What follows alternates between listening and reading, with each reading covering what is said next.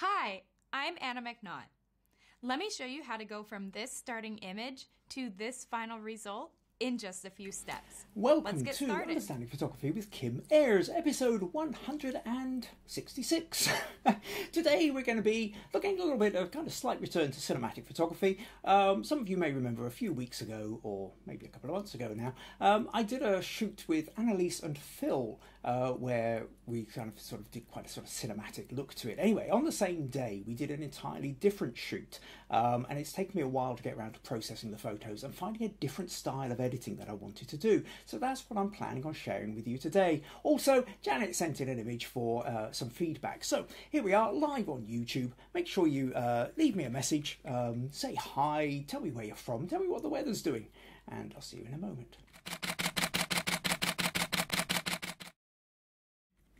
So yes, welcome. So here we are, live on YouTube. Unless you happen to be watching the recording, either way, make sure you subscribe. Click the like button down there as well. That always helps the algorithms. Um, and yes, leave me a message. Say hi. I can see we've got a couple of people in already. Maggie says hello from a sunny and warm Castle Douglas, and it is indeed a sunny and warm Castle Douglas, which is rather lovely. Um, Stacey says good morning, beautiful sunny morning here. That's in um, Pennsylvania. Uh, we'll be in the 80s, Labor Day weekend here. Um, Nadia says hello from a sunny Fife. Sandra says hello everyone from a sunny Birmingham. Susan says hello everyone from a beautifully warm and sunny Kirkcudbright. Um, Robert says howdy all from Texas, though he doesn't say whether it's sunny or not. And Andy says hello from Bishop Stortford. Excellent. Right, okay, so, so far, the uh, weather's looking good around the world. so, yes, today then, today we're going to be looking at um, a set of photos I did with Annaliese and Phil. And uh, so some of you, like I say, may, may remember some of the ones that I did before. And um, so, well, I did I, the set that I did before. It was a kind of very intense emotional set that was done in a bathroom. Um, but I also did another one. Do you remember when I again several months or two back now, um, or a couple of months back, I did I did a kind of um, inspired by Wes Anderson style photo. And uh, let me just see if I can find that and pull that one up for you. Um, so yeah, this one. So some of you may remember this one. So at this point, this was just one of the other photos from the other set that I was working on. Um, although it never, I never intended to do a set full of Wes Anderson style photos. It's just this one lent itself particularly to it. It's particularly when, especially when what I did was I took the saturation and I really ramped up the saturation in this photo. And suddenly you had these kind of oversaturated pastels, and along with the fact that all the action was happening dead in the middle, and the fact that it was looking flat on to the image kind of gave it a bit of a Wes Anderson style feel to it. So that's what we investigated back then.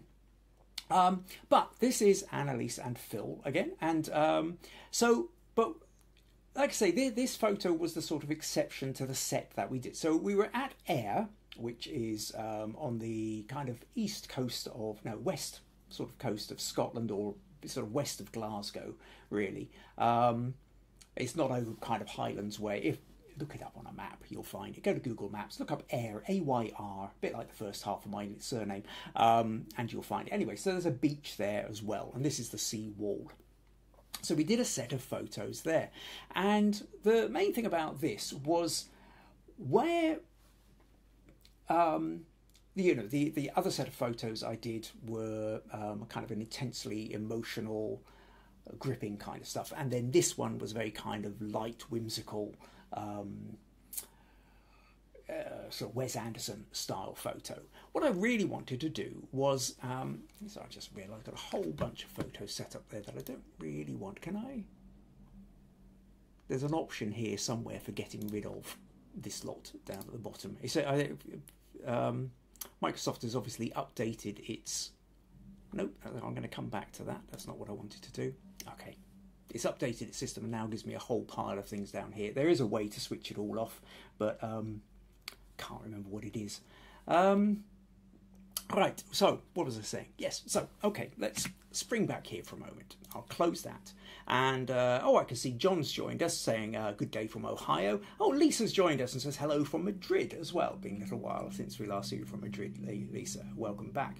Um, Meg says hello, great to see you all here just now. And Rosemary's also joined us. Say good morning from the way too productive gardens of the Pacific Northwest. Very productive gardens, I suppose. Are we at that season? Are we coming? I suppose we are really at that kind of a late summer now, where all the produce is starting to find itself find its way. I do have to say we've been brambling in our garden. Little kind of tangent here. Uh, so brambles or blackberries. Uh, when I grew up down in sort of South Wales and southern England, uh, the fruit is the blackberry and the prickly part plant was known as the bramble. But since I came up to Scotland, I've discovered that the the plant, uh, sorry, the fruit is called the bramble and the plant is called the briar. So uh, anyway, so we um, we have a quite a few briars in the garden, and uh, for the last nearly two weeks now, every single day I've gone out with a little yogurt tub and managed to pretty much fill it with, with fresh brambles, which is fantastic. Um, Yes, and uh, part of that is uh, part of the treat is Maggie at Christmas then makes bramble ice cream, which is absolutely to die for. And also between now and Christmas, hoping to get a good bramble crumble as well.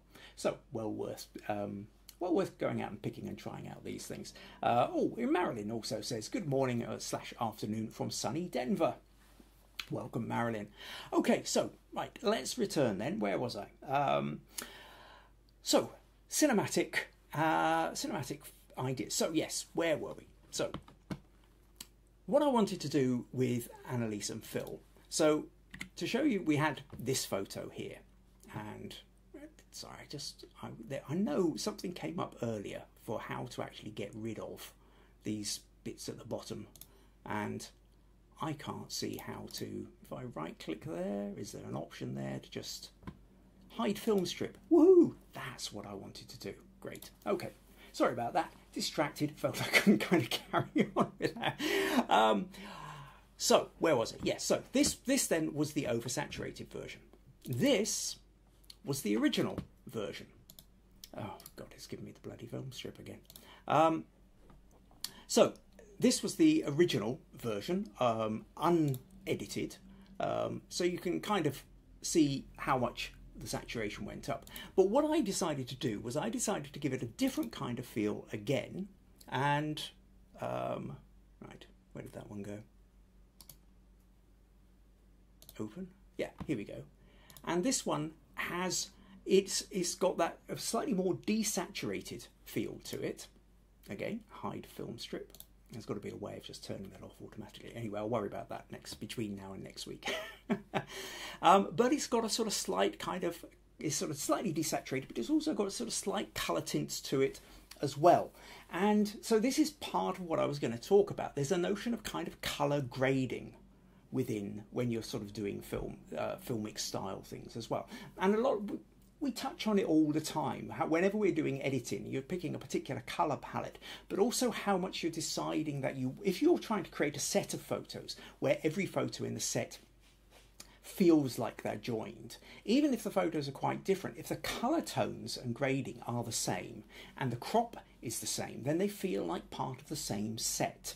And so that's a kind of really important thing to understand if you're ever going to do a set of photos. Um, so, to give examples, then, um, so to, or to show you some of the other photos, then. So, what I'll do is I'll I'll go through the set of photos and then I'll actually show you what I mean about the color grid. Or will I do it the other way around? Let's do it the other way around. I'll tell you what. Um, no, not that one just to show you, actually, that was a photo taken of me on their phone while I was doing some of these photos. um, right, so what do I want to do? I want to go back to this one, so the original. And if I open this in Photoshop, and I'll kind of show you the kind of thing that I, I was doing. So we've got the photo here. And what I decided to do um, was, if I go to hue saturation, and I kind of desaturate it by about 50% thereabouts. Then you can see I've knocked most of the colour out of it. However, I don't want all of the colour knocked out of it. What I was, what I do like here is I like Annaliese's blue hair and I like her pink coat. Um, and even a bit although I don't want the over sort of stronger kind of yellowy brown of Phil's jacket, maybe I wanted a little bit more of that in. So what I could do here then is if I just kind of, I'll do this very kind of quickly and roughly, but if I select Annaliese here, um, let's take that bit out because I don't want to select the sky there, and then I'll select um, as well and just this kind of top part of the jacket. Um, and then uh, masking, using the mask here, I go to the black, I take the paintbrush, take that to 100%, and then paint this back in. And you can see what we've done is we painted just the colours of them and not everything else around them. Uh, then what I want to do, I don't want that yellow quite as strong, so I take that down, you know, maybe take that down 60% or something like that, inverse, and just kind of take some of that colour out as well. Now I can deselect that, and then what I also did with this was, what's going on there, um, was I brought in a little bit more in the sky. So again, maybe sort of something like 60, 70% um, with the mask. Uh, go cancel that, wrong button, that one, and just very slightly kind of bring a little bit of the top part of the sky back in. And so that gives us then this sort of slight sense of what I was I was doing before. So then if I just check the levels, I can see they're a little bit low down here. So I click that and just drag that up to about there. And now we've got something that's a little, you know, is, is edited to the point that I want. So by desaturating, we're part of the, part of the feel for this, and you'll see it more with some of the other photos, is that it was the tail end of winter. I mean, we're kind of officially into spring, but considering it, Ayr is a tourist town, so some of the places have started opening up. They'd opened up for Easter, Easter's passed, summer isn't here yet, and there's a very particular quality to um, seaside towns that are not full of tourists. Um, and I wanted this sort of sense of that very slight kind of bleakness that you get. And so that's why the kind of desaturating became important. I didn't want the bright colours of, of summer. I wanted to kind of have a, a, a, kind of more desaturated, kind of pulled back sense of that kind of sort of slight bleakness uh, inhabiting it. But within that, there's a wonderful warmth between Annaliese and Phil. So I wanted the colour still to be in them, if not the surroundings.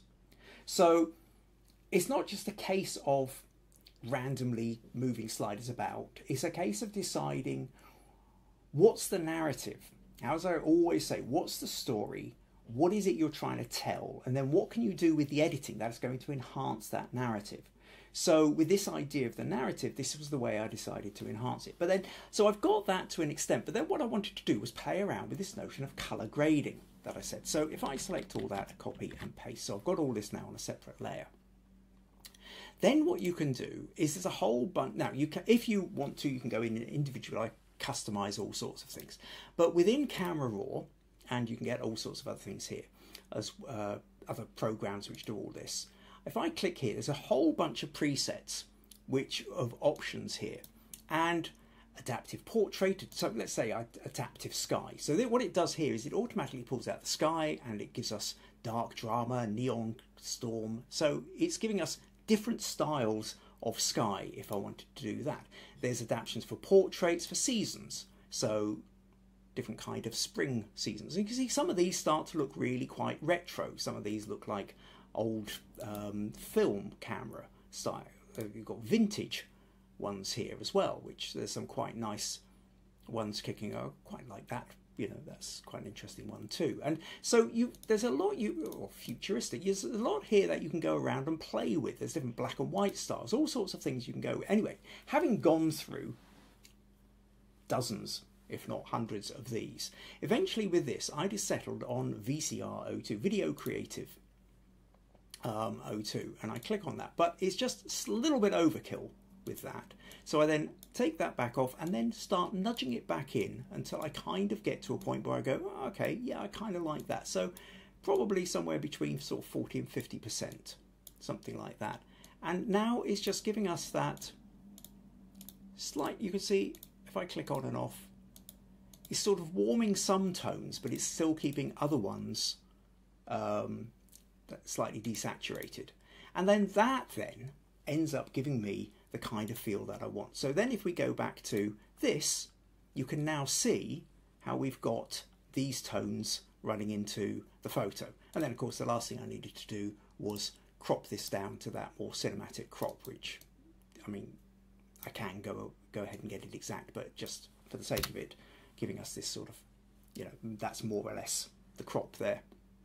So when we go back to here then, and we fill the screen, you can see then that, so it is slightly desaturated, but then it's got this sort of slight colour grading to it.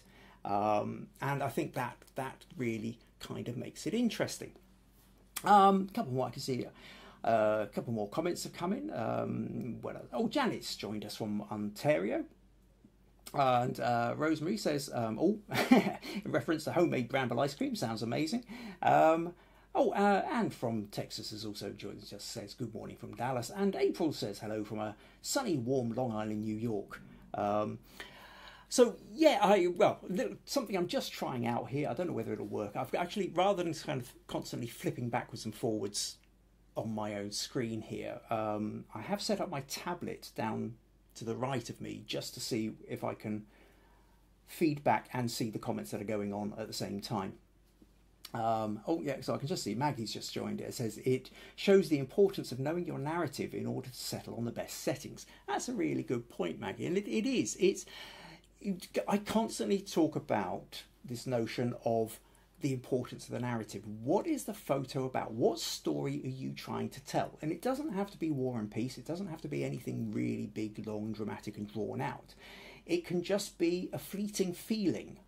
If you could sum it up in a single word or just a short sentence, then but it's that notion of when you as i've said before every time you bring the camera to your eye there's a reason you brought it to your eye. There's something about that whatever it is in front of you that's caught your attention and you somehow want to capture that and then convey that idea to whoever sees that photo in the future. Now it might just be to convey it back to you. It's that's interesting you want to capture it for your own memory.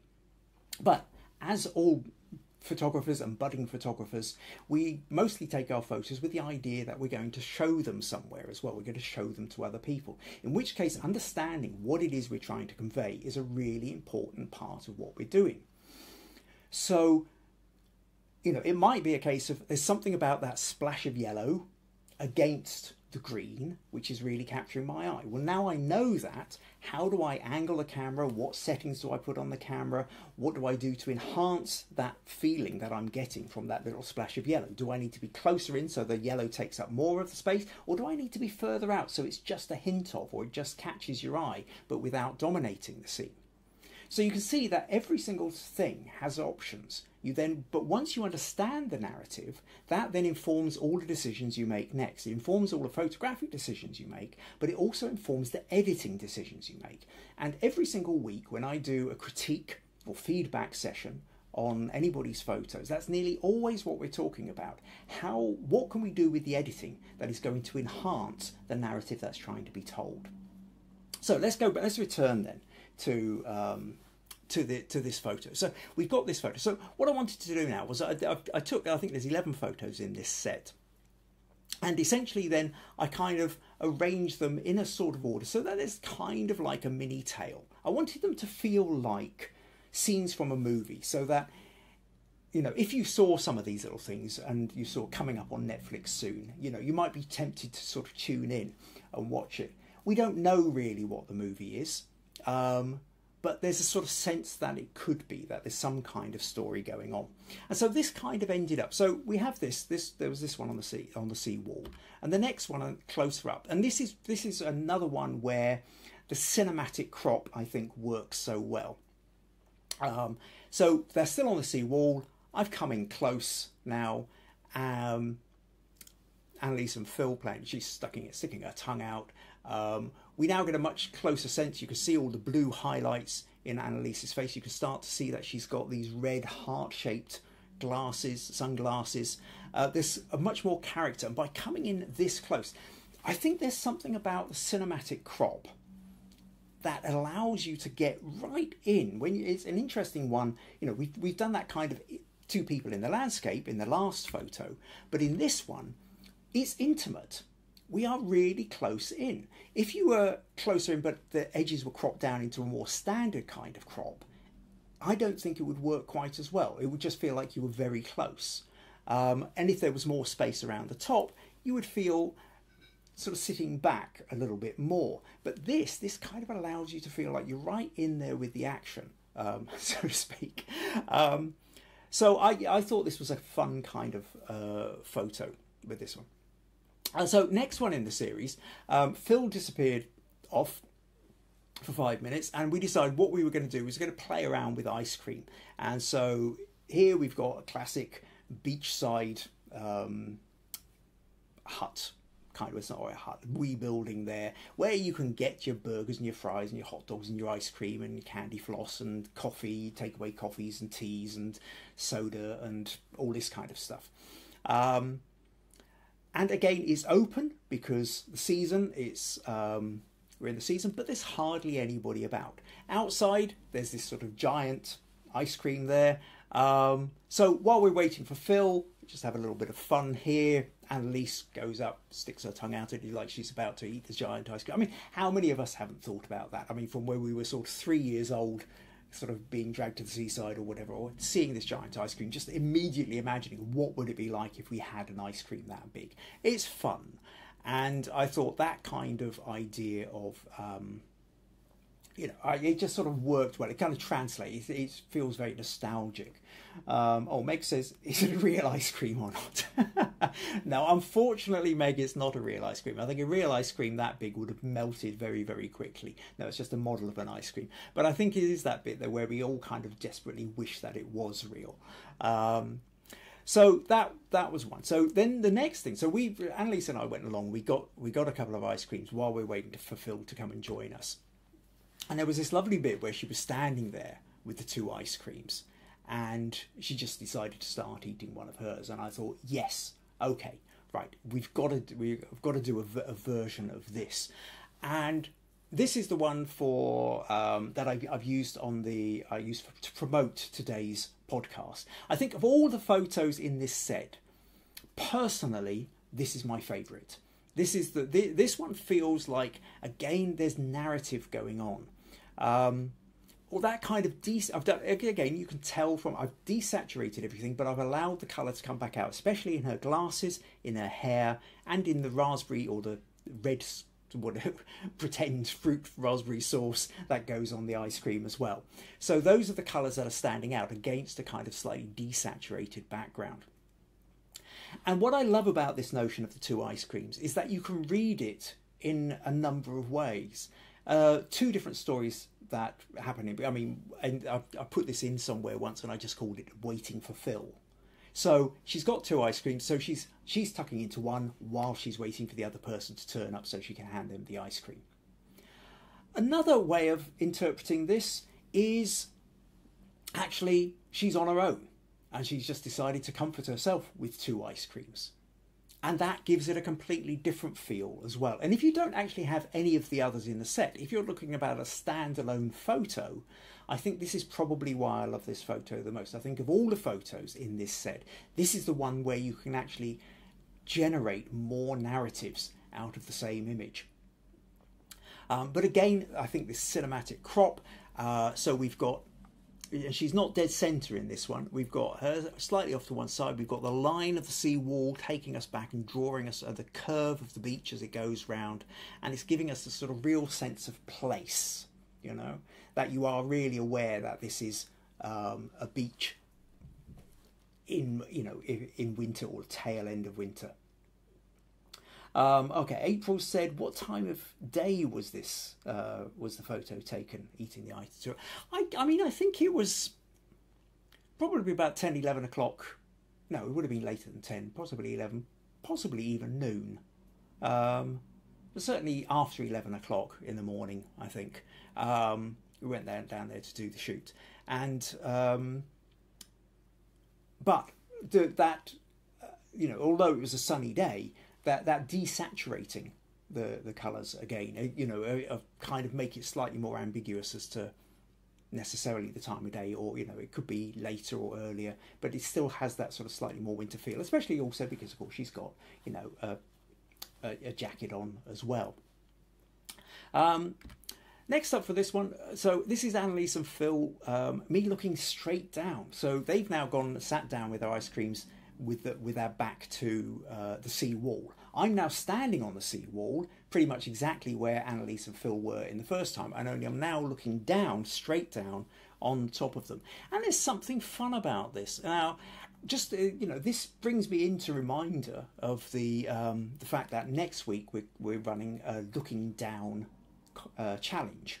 But I'll, I'll come back to that. But but just as a kind of to keep that idea in mind that when you're kind of looking straight down from above rather than at a slight angle, it changes the mood and feel. There's a moment where, for a moment, you kind of you've got to reinterpret what is it I'm actually looking at here.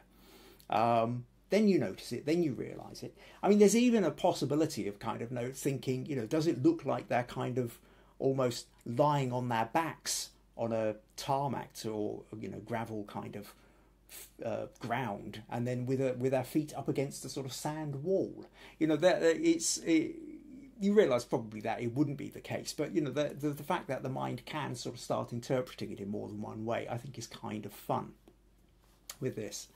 Um, next one in the series then was I came down and was then looking um, side on you know, to, so here we can see now the, the, the, the seawall just disappearing down. It creates this sort of lovely leading line and it sort of sweeps around the edge of the coast here.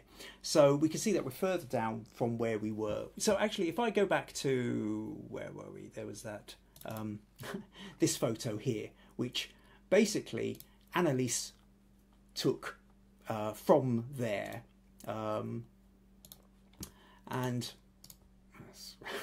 Get rid of film strip. Ah, hate that. Um, and you can see she's, she's caught Phil's ice cream just in the corner here. But this slope here, that's the top of the slope is where Annaliese was standing when she was she held the two ice creams. Just above them, up on top of the sea wall, was where the two of them were sitting, and then where I was standing, looking straight down. Then I've come down to take my photos from this angle. And actually, sorry, I just closed that a bit too quickly. What I was going to say is open that again. And uh, does that press F? Yes, pressing F gets rid of it. Great. Um, what you can also see here is that I've got the remains of my ice cream in my hand here. Um, kind of a little bit of. I mean, it's really difficult trying to take a photo and hold an ice cream at the same time. So, um, yeah, a little bit of fun. Um, anyway, so back to here. So, but we can also see because Annaliese started her ice cream before Phil turned it up. Turned up. She's at the point of kind of getting. She's like me at that same level of that's how much ice cream is left because we've been eating ours before Phil arrives.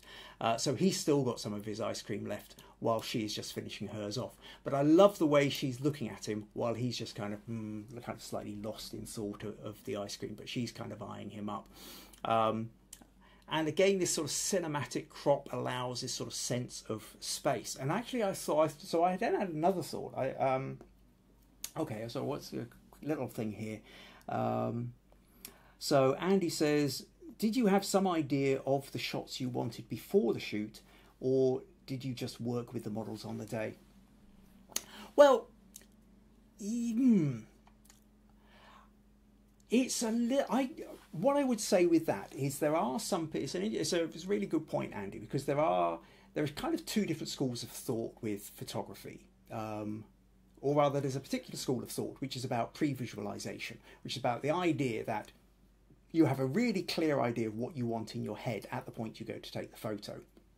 And then, as you're taking the photo and looking in the back of the camera, you're able to match up how well whatever's in the back of the camera is matching with the visualization that you've got. And so if it isn't matching very well, you kind of know where to go next. Now, I personally don't find pre-visualization works for me.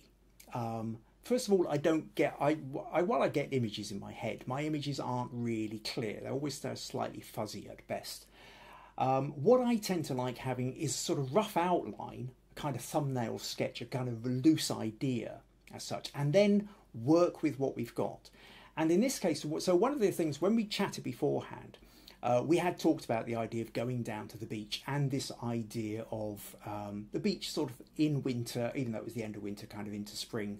Um, but that notion of that holiday town where you don't really have many tourists, but you're still maybe wanting to eat the ice cream on the beach, even though you've got your jacket on because the sun might be out, but it's still cold. And I think there was one reference point where, in bits of discussion, kind of like part of the mood board, where Annaliese had mentioned, um, oh, what's the movie? It's got Jim Carrey and uh, the ah, I was about to say it and it's gone completely out of my mind.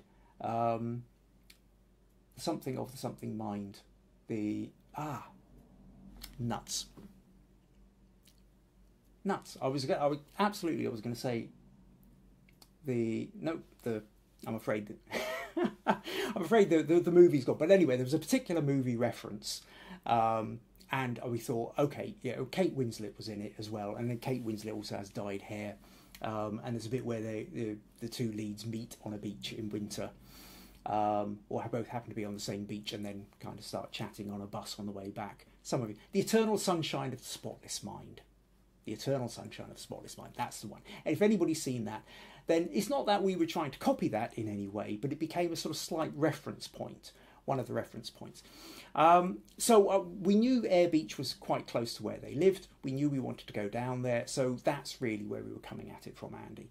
Um, so I didn't. It wasn't that I had specific ideas in mind, but I knew that if we got down to the beach, we knew there's a beach, we know there's a sea wall, that there's going to be options to play with, and then we turn up, and of course the ice cream counter is open, so we grab ice creams, and then we kind of start working with that.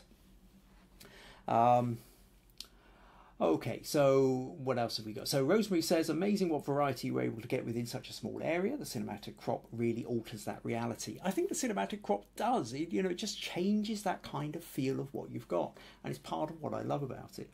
Um, uh, yes, Andy's gone. The Eternal Sunshine. Yeah, Eternal Sunshine of the Spotless Mind. That's the one. Um, so where were we? So, yeah, actually, having seen this one, I like this, and I thought, well, what would it be like if I went further back as well? So then I did this version, very similar kind of version, the same shot, but it's got a very different feel. Whereas this one, we are there with Annaliese and Phil having the ice cream, and the background is supporting that. With this one, we just get this real sense of the sort of the large emptiness of the beach. I mean, of course, if you zoom in, you can see that there are a few people in the distance, but you know, beyond a, a handful of people, I mean, what have we got? Maybe a dozen people at most, or what's you know quite a large area of beach. Uh, maybe another half a dozen there. Um, you know, it's not a lot of people, and around where we are, there's hardly anybody. And so this then and I love the kind of the, the way these lines give you that kind of uh, real perspective disappearing down into um, that that shape, that almost kind of the shape of the South African flag, these kind of the two diagonals and the, the line across, um, is a really pleasing kind of composition. And it does change the feel of it. And again, that big cinematic crop width to it um, gives us a different feel. And I, I kind of had fun with that. Uh, next up, then I decided to move round and look at them straight onto the wall. Now, at this point, what's kind of fun is the fact that, you know, uh, Annaliese has now finished her ice cream and is then eyeing up Phil, Phil's ice cream, and now Phil starts feeding it to her. Um, and he's adopted her glasses for this shot as well. And again, going for, for these ones, rather like the way it's not trying to be Wes Anderson, but it, there is there are some of these photos where again I just wanted to go for that center aligned and that flat on. So it's using some of those Wes Anderson things, but I'm not going for that oversaturated look. So you don't necessarily think Wes Anderson when you see this, but there are plenty of um, other directors who like to have the action in the middle as well. Um, and then another version of this is more or less the same, but moving in closer. So back here, and she's got her glasses back on. So here we're much closer in, and now it's it's more intimate again. We've kind of come closer, and we can see what's going on. Phil is feeding Annaliese part of his ice cream. Obviously, there's there's such warmth between these two. are such they're such a lovely couple, such a beautiful couple, um, and to be able to capture some of that as well within this kind of really added to that whole sense. I think um, of part of that sort of part of what the cinema, the cinematic movie that it could have been um, was about. Um, then moving on to the last couple of photos, going back up on top uh, of the sea wall, we had this idea of looking down and just sort of lying on the beach. And again, it gives you such a different kind of perspective. You just don't normally see something like this. Um, oh, I see Pat's joined us as well. Hi, Pat. Glad you could make it. Says they look so sweet close up. Um, yeah, they really do. Uh, and April says it definitely helps uh, that this uh, was done in winter, or else people would be walking around and would ruin the flavour of the photo. Well, that's true. I think, to be honest, uh, but that's. Yeah, kind of. I see what you mean. Interesting. Okay, interesting thoughts here, April. Which is yes, if I had gone decided that these were the photos I wanted and then tried to do it in summer, you're absolutely right. It wouldn't have worked because the place would have been packed. But if I'd been doing this in summer, I wouldn't have tried to do these photos. I would have then done a different set of photos and used what was there in a very different way. Um, and I think, again, to go back to that point we were talking with, with Andy about the notion of pre visualization, is a lot of the fun and the creativity for me in photography is seeing what I can do with what's in front of me.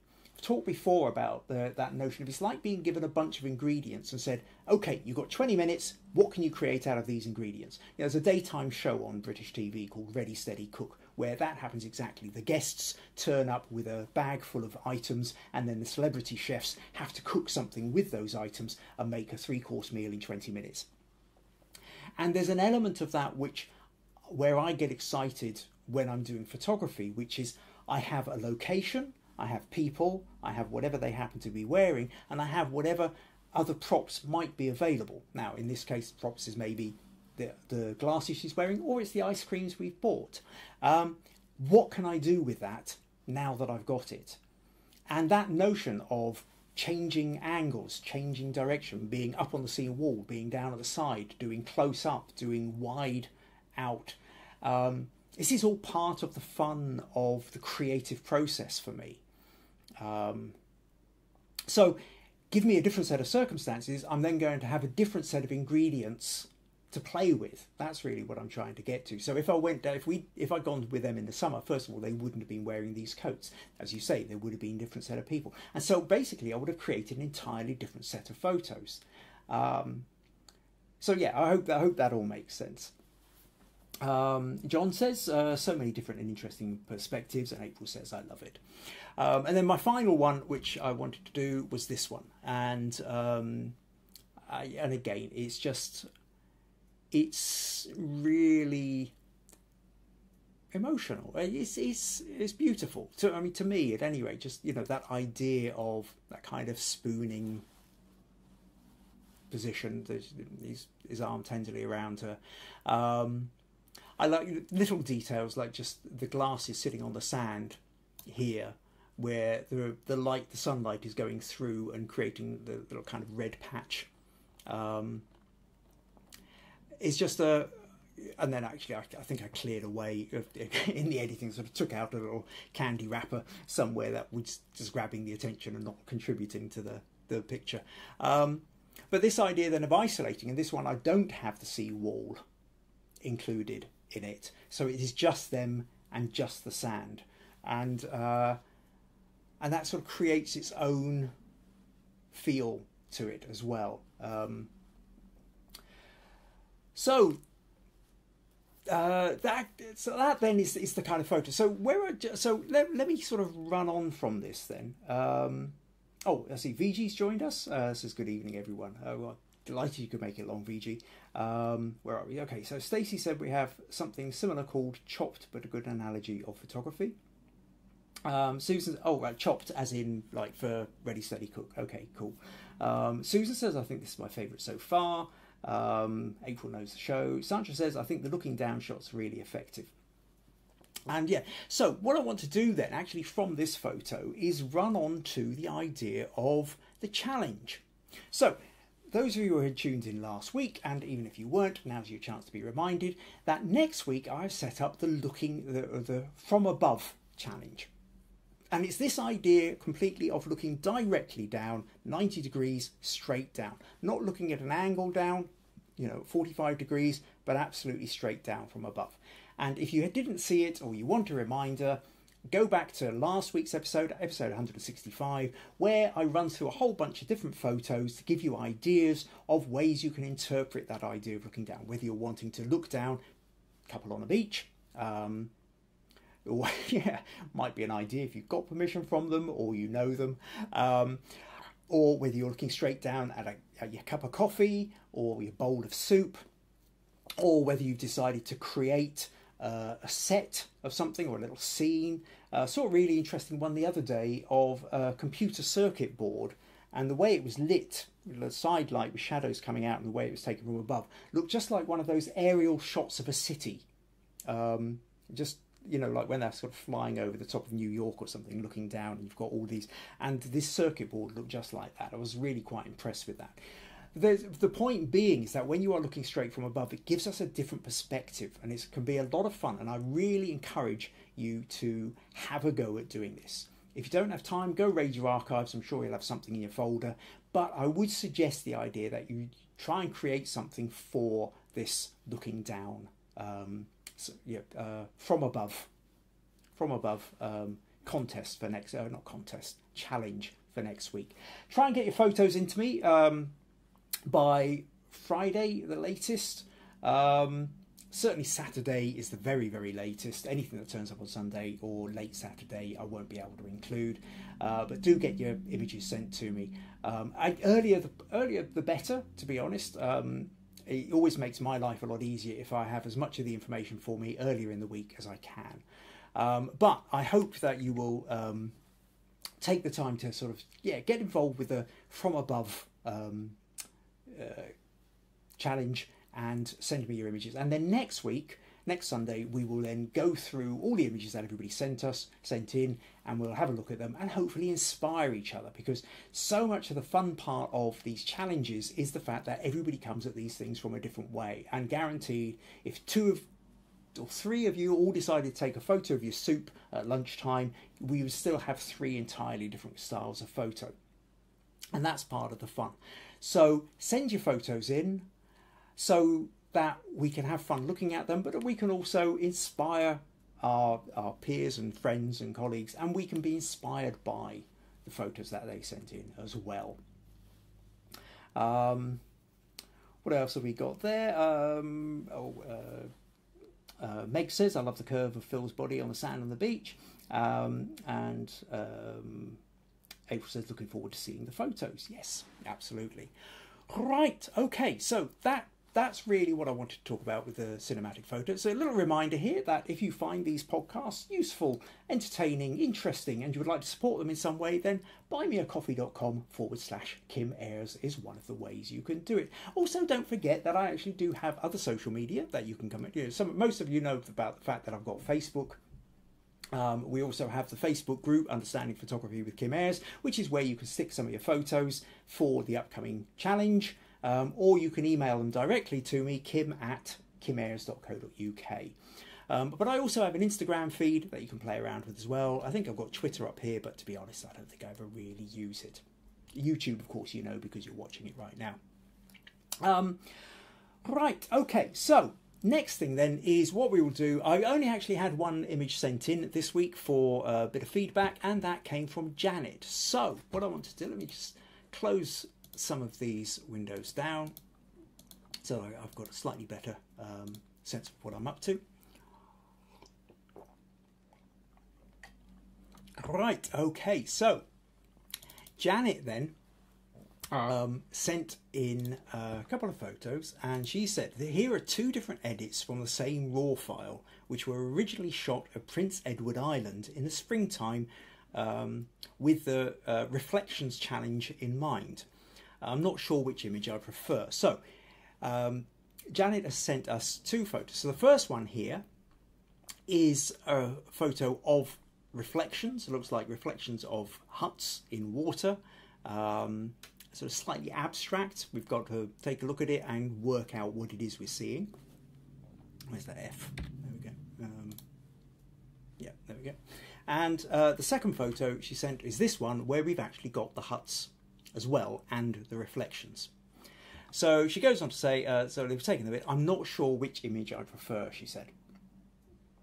Um, so these then are the two images. You can see that here, that with this one, this is essentially the bottom part here cropped. Now, what um, what uh, Janet did do was she sent me the raw file, and essentially this is the original photo that she's working from. So if I um, open this in Photoshop, then what we can see here now. So what she's done is she's um, straightened it and then cropped it in. Um, and actually, let's just take a quick little check. Um, yeah, so she's just missing out the little bit of red on the edge here, um, just taking it to the edge of this hut, so not including the, the red one. And um, so the crop is sort of basically about that, and then she's included as much of the reflections as she can. So that's kind of the crop that she's gone for. The question is then is how could we are there ways that we could have improved this narrative? And to go back to what we were talking about, which is what is it what is the narrative here? So that's one way of doing it. And but if we go back to the original photo here what we're actually so we can see what we've got. What we've got here is we've got five huts in a row and then we've got their reflection in the harbour in the river um, or the creek or whatever it is uh, just here as well. And what grabs your attention is these reflections Now the question is, is really what else might you have done with it? And I think, I think that um, first of all, uh, points to you there for recognising it and then making sure that you're going to try and give it a go. I think ways of improving it though is that part of part of the thing that's going on here because you're at a slight angle, you're about sort of 20 to 30 degrees off being face on. We're seeing the sort of sides of these, um, and so when we kind of crop crop down, I think when you kind of come in this far, and I think you were taking out the yellow bit as well, um, it, there's not really enough in it. The, the colours of the sheds themselves, um, whilst they're kind of interesting, it actually becomes more interesting with the red one because that shows you a more variety of colour just having the little bit of red, because I can see what you were doing was you were cropping out this telegraph pole here. Um, but in your one, you've left a little bit of red. Okay, let me close those and we look at this one again. You've left in a little bit of red, which um, kind of grabs the attention a little bit. But when we look at this, even though you've kind of enriched the colours uh, a little bit, played with the contrast a bit, I don't know that it's really being truly effective. The the reflections, the interesting bit of the reflections, are quite a distance from the huts. You've got the huts up here, and right through the middle, most of you know the biggest the biggest chunk of this photo almost is being taken up with this broken bit of wall and the brown reflection of of that, that kind of sort of slightly whether it's muddy water, it's just the way the reflections are, and this this section here isn't really as interesting as um, as the, the huts and the reflection. So if we go back to here, it's almost like what would have worked better would have been if the um, I would say if, if the tide was higher in. And so if we, for example, so if we let's just copy that and paste that and then just say we were to imagine then that the tide was further in something like that. And then we do that. Um, and now, I think, when you look at something like that, the reflections feel much more attached to the uh, to to the subject. So the subject, these huts here, then, um, this chunk in the middle isn't taking up too much space. It's only taking up just enough for you to realise that the reflection is there. And I mean, depending on how high you want to take it, you could even take it up to there, and then it feels um, like it's about to, the water's about to spill over to the edge. But you can see that the less that you have in between, the more effective. Actually, that's probably a bit too high. I would need to, but um, the less that you have running through the middle, the more effective the relationship between the huts and the reflections happen to be. So that's really the first thing that I would say is that when you're doing reflections, you've got to make sure that, the, that you can that you're trying to minimise any distractions. It is about the subject and it's about the reflection. What's getting in the way of that, and what's getting in the way of this from your original is the fact that the um, the tide is too far out. And if you'd been back there when the tide was in, that would have made a difference. I think another difference is the fact that we're looking side onto these huts. And I think you, sometimes when you've got huts like this, what's kind of interesting with the shape is you would be slightly better off being directly face onto it. And then when you're face onto it, then your reflections are also going to, you're going to create more of a sense of symmetry because your horizon will be flat. At the moment, because we've got this kind of you know, is slightly bigger. This hut feels bigger than this one because it's closer to us, because these are further away, because of the angle you're at. And so likewise, the, you know, these reflections kind of move away. When you sort of flat onto it, the reflections are then going to be exactly the same, and you're going to get much more in the way of a sort of symmetry to it, which I think would be quite pleasing with something like this. The other alternative is if you're then sort of much further back or further out and you're getting a long sense of, in which case what you really need is a lot more huts. Let me give you a couple of examples of what I mean. Uh, okay, let's take a quick look. There's a couple of um, comments here. First of all, before I move on to that then. Um, so John says my preference would be the second photo with the huts. I think it's more interesting. Um, April says looks much better like that with the cement now hidden. Um, John likes the controlling the tides, brilliant. Rosemary says, I prefer the huts included. Coming to the reflection alone makes the question if, which, um, if there were nasty distractions you were trying to cut out, which isn't necessary since there isn't clutter. Okay, so yeah, if that's on the, if you're just purely going on the reflections. Um, and Janet said would need a boat to shoot face on. I, I, I mean, I get it. I know if, if you're standing on a bridge or a, or whatever, or the way the you know, um, but this is kind of part of the problematic thing is sometimes the photo you desperately want to get you can't get because yeah there's a, a sea in the way or you don't have access to the boat but at that point maybe you sort of go on a slightly different maybe you kind of move around and go for a kind of a length out however at that point you might need more huts to make it worthwhile so the point i was going to make here is just as an example is if i show you this sort of photo here of um, beach huts. And now it's not a it's it's not a perfect photo. I I this this was an opportunity grabbed. The weather wasn't great. It was overcast and um, in an ideal world, in an ideal world, I would it would have been great to have some sunshine, some shadows, um, and the more the more vibrance of the, the, the light with it. However, um, the reason I pulled this photo up is not so much to say this is a fantastic photo. But but I think in terms of the straight on, it gives you that sort of sense of I think that the the composition, even if I haven't quite got the light right on this one, I think the composition is slightly more interesting when you've kind of got that flat on thing. And you can imagine here again if you happen to have reflections of water underneath. Um, so if I was to open that, and in fact actually there's an interesting bit here which is if I take this down and sort of pretty much double the size. And I go to generative expand and I put reflections in water and then generate. Um, this is this is part of Photoshop Beta's um, uh, fact that it, it, can now kind of generate all sorts of artificial intelligence um, layers and levels and what have you. Now I haven't actually tried this with this, so I'm just hoping. Yeah, there we go. Looks a bit like a, a, muddy puddle. We've got four different, three different versions of that. Oh, that's a very clear, still water. Um, this one is giving us part of the pavement as well. you know, I think I quite prefer. I think I prefer that one where there's like an edge of water, and oh, it's even put they've even put a little stone in the foreground here. But I quite like the fact that it's got the um, the rippled water. But the point here now, obviously, this wasn't taken like this. These this doesn't exist.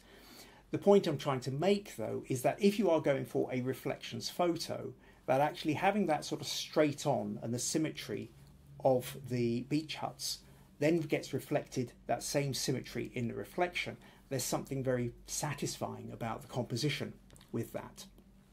Uh, the alternative, if you don't have that, is to have something like this, um, where you take where, when you've got a great long line of huts and it, where you just sort of you then follow down the full length, so it's it's all disappearing off into the distance, um, and then at, so at that point you, you're just angling yourself so that you can shoot down the length of the of the um, of all the huts. Now, in your case, there was only five huts there, so that maybe wouldn't work quite so well. But what but that notion of the repeating pattern that's getting smaller as it moves across the screen is, you know, another pot- uh, potential to play around with composition. So, all in all, then, um, I think uh, hopefully then that's given you a few ideas there, Janet.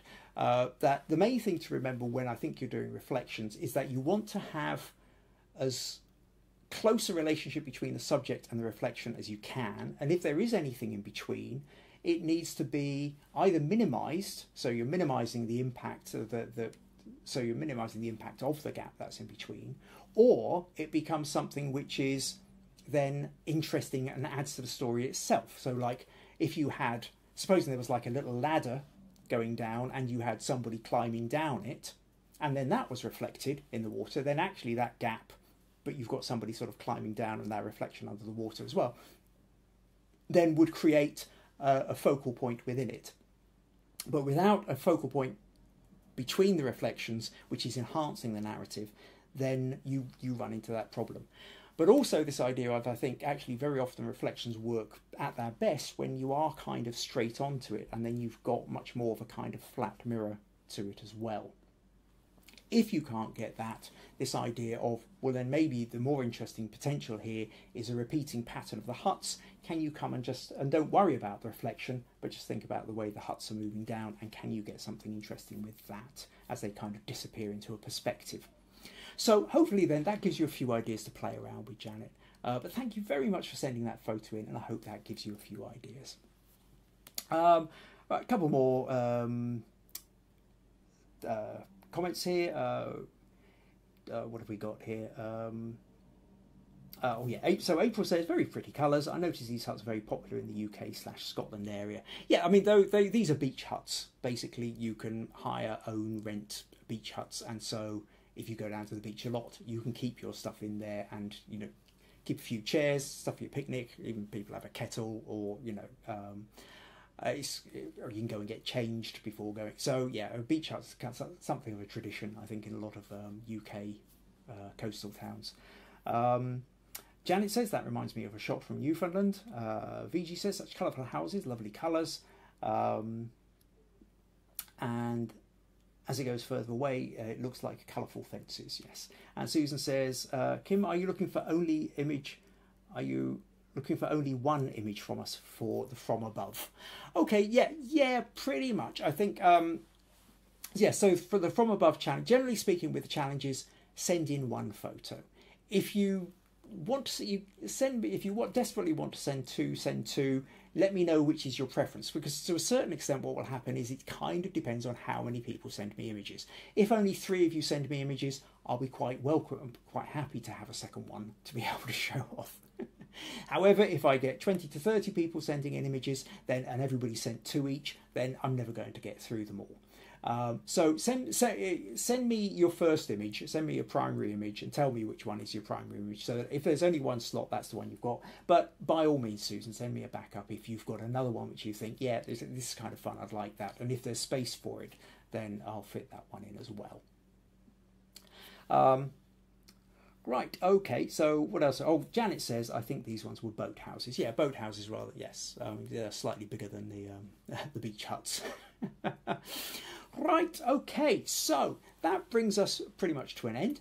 Thank you to Janet for uh, sending in the image. Thank you to everybody for the live chat, uh, keeping the conversation going, and the questions you asked me. You know, when Andy's asking questions like about how much you visualize or decide that you're doing in the first place, or April, even April's point, which sort of sends me off about the idea of actually I would do different sets of shots if it was in the middle of summer than in the uh, at the end of winter.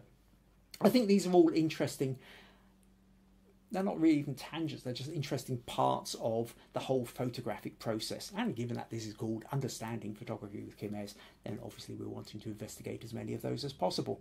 Um, so I think, yes, um, like I say, that brings us to the end. Uh, if you've enjoyed these, if you found them interesting, enjoyable, entertaining, then buymeacoffee.com forward slash Kim Ayres is one of the ways you can support this. Another is to bring your friends along. And actually, with a challenge next week, if you've got anybody who's sort of partially interested in these podcasts or, you know, eh, uh, maybe actually introducing, letting them know the challenge is on, is a way of getting them involved as well. So feel free to tell your friends.